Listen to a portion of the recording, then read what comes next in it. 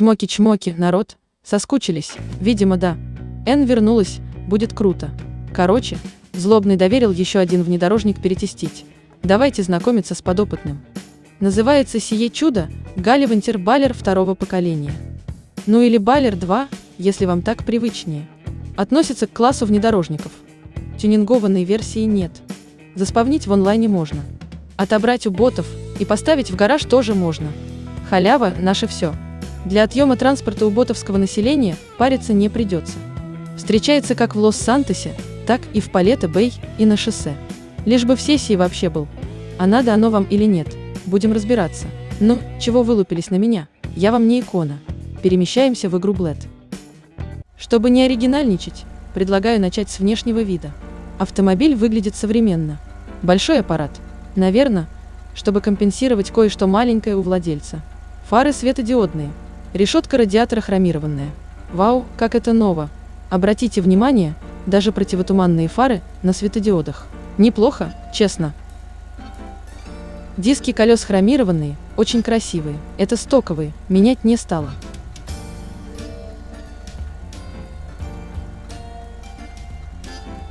Задняя часть оформлена достаточно спокойно, но в то же время современно. Светотехника светодиодная. Двойные хромированные глушители. Выглядит красиво, мне нравится. И даже интегрированный в козырек стоп-сигнал. На заднюю часть чаще всего будем обращать внимание во время езды. И отторжение она не вызывает.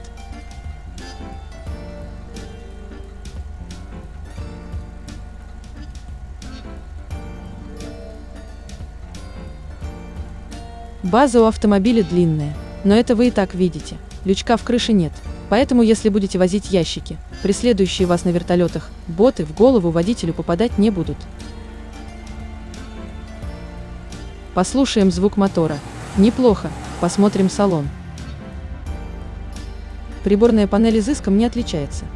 Если учитывать, что машина вообще-то не из дешевых в реальной жизни, то приборная панель довольно-таки скромненькая – Руль не закрывает приборную панель. У руля есть строчка. Посмотрим, будет ли она краситься. Строчка есть на сиденье тоже. Понятненько. Будем смотреть. Его чудо.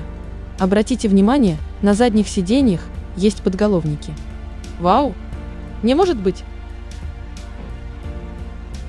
Однако вряд ли наличие подголовника компенсирует то, что у машины внешнего тюнинга нет от слова совсем. Что мы сможем поменять? Как вы видите, никаких опций внешнего тюнинга нет. Окраска. Целый один цвет, основной. Больше ничего нет. Спасибо, Rockstar. Очень щедро с вашей стороны. Но посмотрим, что у нас поменяется. Полностью перекрашивается корпус и частично передний бампер. Нижняя его часть из карбона. Решетка радиатора не красится. Спереди сбоку остается вентиляционная решетка из хрома. Сзади то же самое для заднего бампера. Это же касается зеркала заднего вида.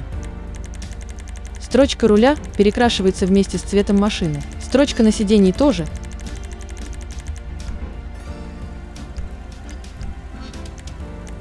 Вот и все изыски. Что у нас еще есть? Можно посмотреть колеса. Не надо глупых ухмылочек. Я про колеса автомобиля, а не то, о чем вы подумали. Не будем ничего изобретать и выберем диски для внедорожников. По ощущениям, стоковые диски чуть меньше кастомных, но не принципиально.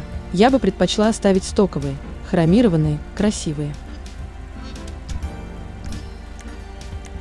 И осталась только тонировка стекол. Будут ли тонироваться вместе с ними фары? Посмотрим. Антитуманки светодиодные. Лопну со смеха, если перекрасится. Нет, никаких изменений. Тонируются только стекла. Скромненько. Надеюсь, отсутствие тюнинга компенсируется чем-то еще как размером груди у некоторых девушек. Это я не про себя, если что.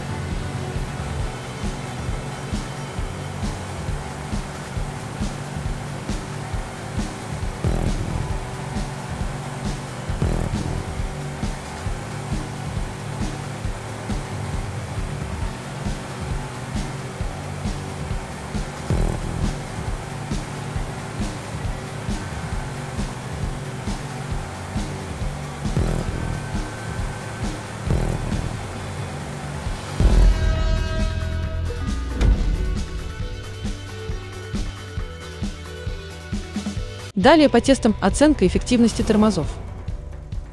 Стартуем без буста, без зажатого газа, чтобы получить более достоверный результат. Наверное, многие из вас задумываются над вопросом, а как это влияет на результат, старт с бустом или без буста. Не знаю, просто я так решила. Дай Хану за это вы в комментарии не высказывали. Если не согласны, то поправьте меня. Готовимся. Стопе, курва. Могло быть и лучше, честно скажу. Подаркой начали торможение. По флагам оценим эффективность торможения. В целом машина проскочила недалеко. Однако примерно с этого места она ехала накатом. Тормоза не сказать бы очень хорошие, но и не средние по эффективности. Где-то в промежутке между ними. Будем точнее выяснять в тестах на определение поворачиваемости и управляемости. Оценим привод. Вращаются передние и задние колеса. У автомобиля полный привод. Это хорошо для проходимости, неплохо для управления. Но с этим могут быть связаны некоторые сложности. Вы знаете, что полноприводные машины часто во время вхождения в поворот выталкиваются с траектории движения. Так ли это в нашем случае, будем проверять в дальнейших испытаниях.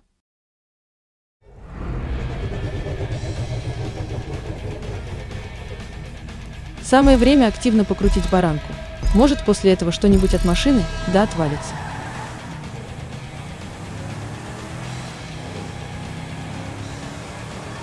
На поворот руля машина реагирует вяло. Мне кажется, что год назад она делала это поживее. Возможно, при полном фарше она будет пошустрее. А вот радиус поворота не радует. Он довольно большой. Машина неохотно входит в поворот, если вы жмете на газ. Но это характерно для всех полноприводных машин в игре. Если газ отпустить, то ситуация немного улучшается. Но не сильно. Это сделано, скорее всего, специально для создания ощущения управления большой тяжелой машиной. И это очень хорошо работает. Вы не управляете невесомой кучей пикселей. Очень приятные чувства. Задний мост вроде бы устойчивый, но сейчас проверим.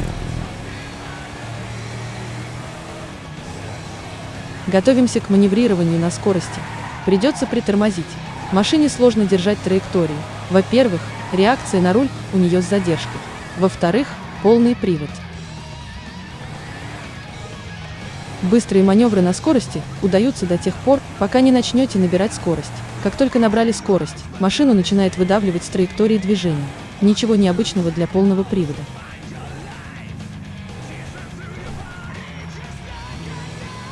Поворачиваемость нормальная, чуть ближе к избыточной. Но чем больше скорость, тем больше поворачиваемость становится недостаточной. Блин, меня все растрясло в поворотах, не блевануть бы. И чего Хану так нравится этот тест?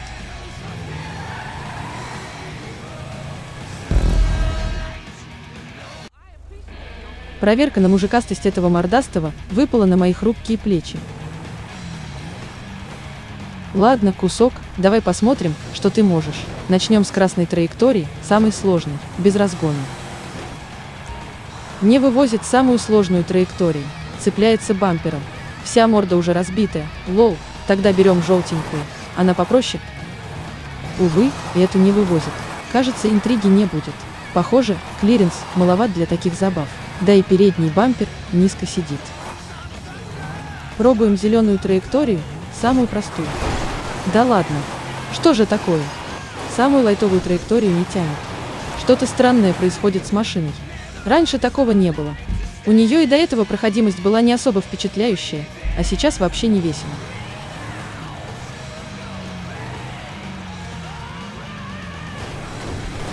Ладно, с небольшого разбега хоть как-то осилил. По красной даже пробовать не будем. Попробуем сразу желтую. Опять 25. На камне брюхом сел. Тогда пробуем самую простую, зеленую.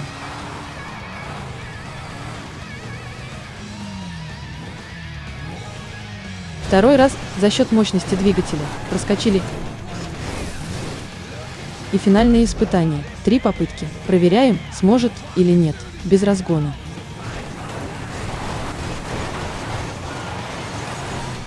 Первый блин комом. Попытка номер два.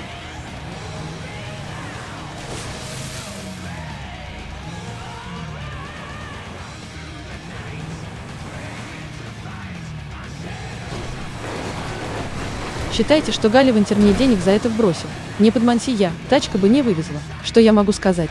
Эта машина не для покатушек по сильно пересеченной местности. Все-таки это быстрый паркетник. Не более того. А с виду такой важный. Фи,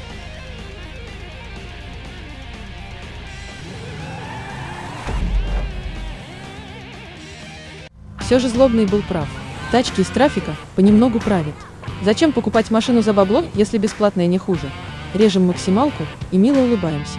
Хотите быструю тачку? Платите. Так это и работает, народ. Факт. Год назад машина была бодрее в стоке.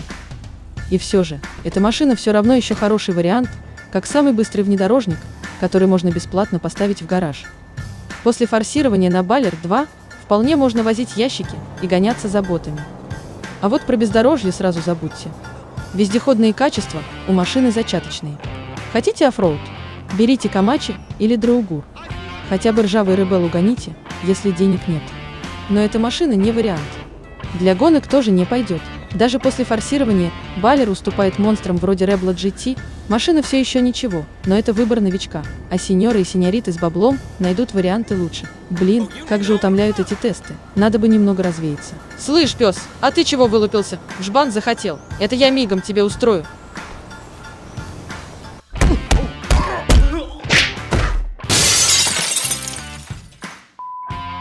Кажется, одни тесты сделать, что сложного.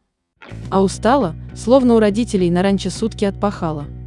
А ведь вы не цените наш со злобным труд. Я краем глаза в статистику глянула. Вам не стыдно?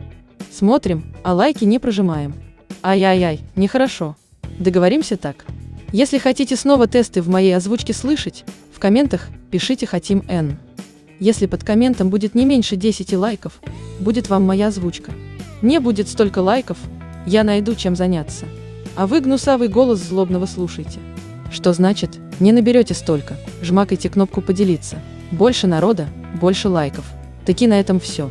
Кто досмотрел до конца и жмакнул лайкосину, тот красава. А кто это не сделал, тот.